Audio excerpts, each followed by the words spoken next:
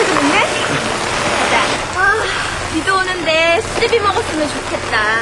그치? 좋지? 어?